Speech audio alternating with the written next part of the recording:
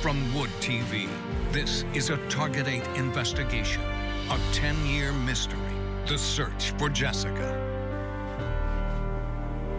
10 years ago, Jessica Heeringa was working what would end up being her final shift at a Norton Shores gas station. She would soon vanish, never to be found. A decade later, her family refuses to believe the conclusions reached by investigators and a jury that the young mom was the first victim of serial killer Jeffrey Willis. To this day, they wonder whether Jessica might still be alive. Target 8 investigator Ken Kolker has covered this case from the beginning. He sat down with the lead detective and with Willis, convicted not only in Heeringa's murder, but in the 2014 murder of a jogger Rebekah Bletsch. Ken. For the first time tonight, the lead detective is revealing where he believes Jeffrey Willis buried Jessica Heeringa. It's a short drive from Norton Shores to this part of the Manistee National Forest in Oceana County. At 10 minutes after 1 in the morning on April 28, 2013, two days after Jessica Heeringa disappeared from her job, phone towers picked up Willis's cell phone, headed that way. I think he went out into some area that he is well familiar with, um, and uh, he buried Jessica out there somewhere. Phone records show Willis returned to the same area in the months after Jessica's disappearance, in June and August of 2013. Why is he out there? He's a hunter and he's an avid, avid snowmobiler. It wasn't hunting season, and we weren't having snow in June and August. I believe somewhere along the line he was he was either um, uh, visiting, visiting or or burying her even better. In 2017, after Willis's arrest and after a review of his phone records, police searched this part of the Manistee National Forest. Cadaver dogs, helicopters, even infrared cameras at night. A half a dozen fruitless searches that were never made public. And I'm telling you there, Ken, out there when we were walking the terrain and using the dogs, you're, it, it, the terrain is like this, and it's wooded, uh, ground is uneven. You could be walking, and 15 feet from you, something could be buried. And you, you, it's that, that tough. I always say the only one that really, probably really can tell us when it comes down to it is going to be Jeffrey Willis. I'll be talking to him tomorrow, so I'll ask. Go ahead. I, I am actually. If, if I he, am. If he if he would tell you, that'd be great.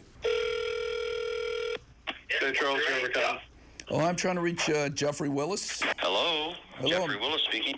This is 911. Where's your emergency? Um, I don't know if it's emergency. Jessica Heeringa, the 25-year-old mother of a three-year-old boy, was working alone the night of April 26, 2013. It's very suspicious why there's nobody here. At the Exxon gas station on East Sternberg Road. I got all kinds of information. In a phone interview from Cotton Correctional Facility in Jackson, where he is serving two life sentences without parole, Willis admitted he had stopped at that Exxon station before, even earlier that day. Um, had you ever seen Jessica Heeringa before? At before the, the night she disappeared, you yeah, mean? Yeah, I seen her. Uh, I I'd gone into that store one time with uh, with the guy I work with. The guy I work with, I rode I rode to work with him. He stopped there at the gas station because uh, he said there was a hot girl there. And that would be. So I stopped there. I stopped there and got some. Um, well, before the night that uh, that she disappeared, I was in there that night too. But I had I didn't know who she was. I never met her. I think that was uh, around like December sometime. Norton Shores detective Michael Kasher, the first detective at the scene, almost immediately suspected the worst. And that was long before he focused on Willis. You see all her stuff there, including her cigarettes and her and her lighter, which was nicely uh, stacked. And then there, the they looked like she was pulling out the drawer to start counting. You know, there's a lot of money there, uh, all the change, everything, everything was in place, like she was cleaning up. Their fears grew with the discovery out back the cover to a laser sight of a gun, batteries to the laser sight, and a smudged drop or two of Jessica's blood. You're starting to go, okay, uh, she's not here. Place is left open. It's not in the robbery. Um, you know, there was no struggle inside. Did it happen out here? You start seeing a little bit of blood. We got a cover to a, a laser sight. Um, so the red flags start adding up. Eyewitnesses told police they saw a suspicious silver minivan behind the station that night. We just have to keep going and find her. Jessica's family held vigils next to the gas station, passed out flyers, Even if you don't think it's important, it may be. It made may public be pleas for help. tid- Just days after the disappearance, a tip came in. I think it was tip 257. That led them to Willis. But a quick police interview and a check of his recently vacuumed silver minivan provided no answers. Despite more than 2,000 tips, dozens of searches, and a task force that at one point grew to 45 officers, the investigation sputtered. We've been together five years. They focused for a time on Dakota Quayle Dyer, Jessica's live-in boyfriend and the father of her three-year-old son. But he had an alibi and nothing to gain from her death. He was always on board. Every time I called him, every time I needed him, every time we had something, he was there. Dakota declined to be interviewed for this story, saying he was trying to move on with his life. He's married now and says he often visits the son he shared with Jessica. Their son is now 13 and being raised by Jessica's sister.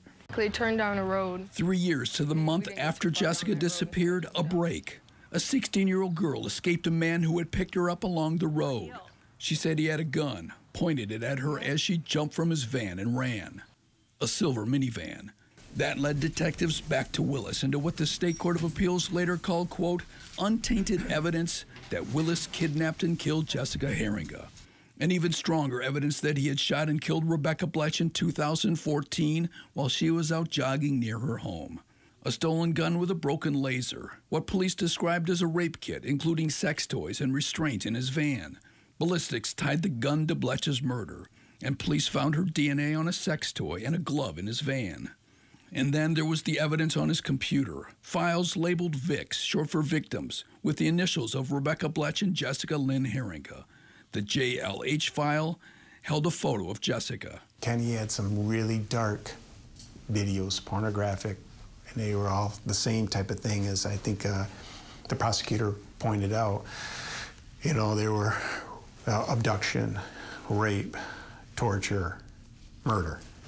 And he had 10, 12,000 videos on his computer. Also, among the evidence tying him to Heeringa, his computer password made up of her initials and the date police believed he killed her J4, L27, H13.